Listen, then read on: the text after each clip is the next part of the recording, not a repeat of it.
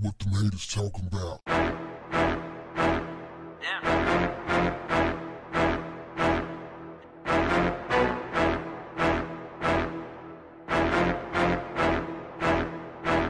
What's up, family? If you have not done so already, after you subscribe, there's a little bell next to your subscribe button. Go ahead and click that thing right now so you can get your notifications each time I drop a new video like this. That way you'll be among the first in the loop. Be sure to select all notifications, otherwise you may not get any. It's a little tricky that, that's just the way it works at YouTube. Also, smash up the likes, smash up the likes, smash up the likes. We got to put it in their face, family. Now, let me go in right quick. There's a guy by the name of Joe Scarborough. He used to be a member of Congress. He has some choice words for Snoop Dogg on this show that he performs on called Morning Joe. I say performs on, not host, because he gave a rather Oscar like performance when he criticized Snoop Dogg for criticizing Gayle King. Now, the dude was, I mean, like really passionate. I don't know if I've seen any black person, including Snoop, be as passionate about this whole situation with Gayle King asking Lisa Leslie an inappropriate question about Kobe Bryant in the wake of his death. The dude was like, you got a black woman that's being threatened. And what are you doing? He called out New York Times, he called out CBS, Viacom. he, he called out, who was it? USA Today. It's like, I'm not seeing, where are the editorials? Got a black woman. I mean, he's just going on and on and on. And he's like, what is this bullshit about protecting journalists and da da da da da, just going on and on and on? I'm like, man, shut your ass up and sit down. Because you don't feel that way about black women. You ain't that passionate about black women. You don't care about black women like that. You got a black woman who is a journalist and she's being threatened. Her children are being threatened. Man, people Children get threatened on social media every day. Gayle ain't special.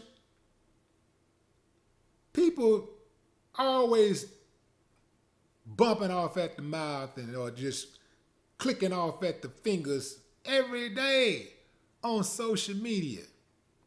But they keep talking about these threats that Gayle has received and we ain't seen no receipts yet.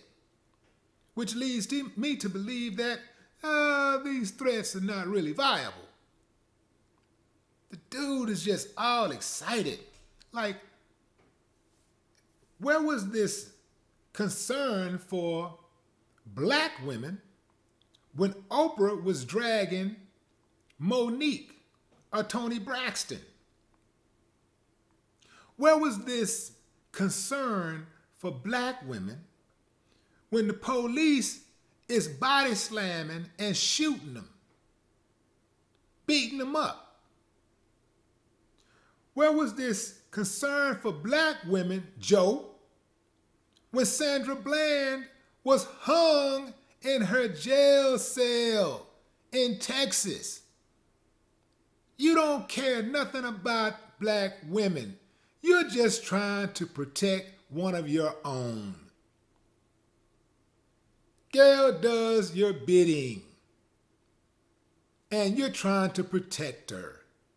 It's as simple as that. We see through your bullshit.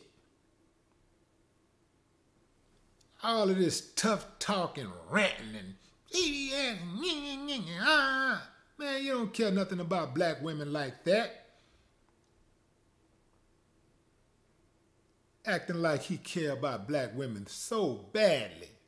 You jumped on the bandwagon. You saw that Snoop was backtracking on his original statement, and you decided to pile it on when you saw the other elitists pile it on. You ain't did nothing heroic. I know you probably beating your chest thinking you did something tough, but you ain't did nothing. It was not impressive at all. Just a bunch of jibber jabber, talking loud, saying nothing. Now, you want to prove me wrong? I would love to see you prove me wrong. Let me see you start really championing black women causes. Let me see you start speaking out against the police. Let me see you start really speaking out against men when they rape black women, regardless of what their ethnicity is. Let me see you start doing that. Mr. Morning Joe. Need to change the name of the show to Johnny Come Lately. That's weak. Joe, I am an expert in the field of loving women. If you really want us to believe that you love women the same, and you really care about their welfare, you don't even have to start with black women. I got that covered. You can start by helping to solve the murder mystery of the white woman who was found dead in your office in 2001. No more talk. What, the haters talking about?